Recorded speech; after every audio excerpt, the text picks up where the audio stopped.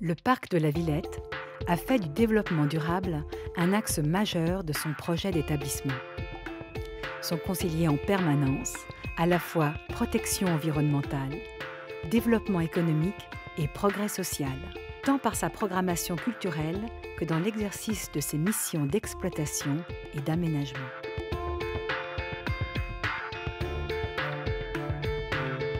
L'engagement du parc de la Villette pour la biodiversité lui a valu le label Oasis Nature, décerné par l'association Humanité et Biodiversité. On a commencé par semer des, prairies fleuries, près de 5000 m2 sur le, sur le parc, afin d'inciter bah, les, insectes, les oiseaux à venir. On est très pointilleux sur l'origine des, semences ou des plantes pour euh, s'assurer que ces plantes viennent bien de l'île de France et qu'on puisse les acclimater facilement sur le parc. On a mis en place également des nichoirs à oiseaux permettant euh, d'abonder pour tous ces oiseaux euh, en nourriture et en graines. C'est ce qu'on appelle un hôtel à insectes qui commence à être occupé par par plusieurs petits insectes, donc avec plusieurs euh, chambres d'hôtel qui sont destinées à un certain nombre d'insectes qui veulent bien venir euh, en fonction des orifices. Il y a encore des chambres disponibles, si quelques insectes veulent bien venir, il y a encore de la disponibilité.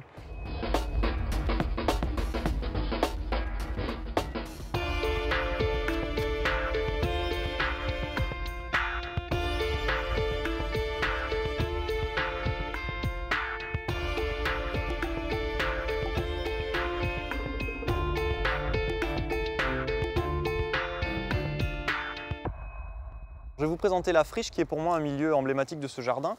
Euh, elle représente vraiment cette idée de plantes vagabondes qui viennent s'installer euh, au fil du vent, au fil des, insectes qui vont transporter les graines. Donc au centre on a tout l'espace potager où on fait des travaux vraiment en lien avec le, travail de la terre et des saisons. Des fois les plantes euh, vagabondes s'installent aussi. Hein. On a la capucine qui vient s'installer au milieu d'une parcelle fleurie, on a la bourrage qu'on retrouve aussi un petit peu partout. Mais on est un jardin écologique, donc ça veut dire qu'on met aucun produit chimique. On travaille avec, euh, on fait nos propres purins, on travaille avec des semences biologiques et on est toujours dans un, travail respectueux de la terre. Donc on va toujours travailler avec du paillage, des semis d'engrais verts. Tout ce travail dans le respect de la nature et de l'environnement euh, euh, nous vaut un label écologique certifié par Ecocer qui justifie notre label espace vert écologique. Elle a vraiment un réseau hyper traçant et elle prend toute la place. Nous sommes dans la, la partie euh, d'extension des jardins passagers.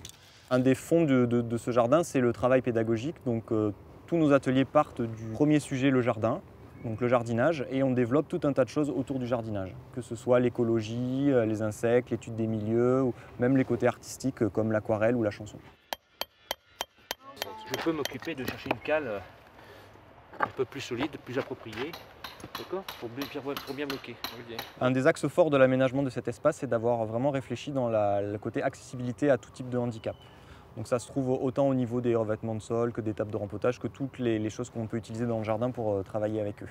Et ça fait vraiment un, vrai échange parce qu'on a plein de catégories sociales qui viennent ici et on partage les choses autour du jardinage, autour de, l'écologie euh, dans cet espace.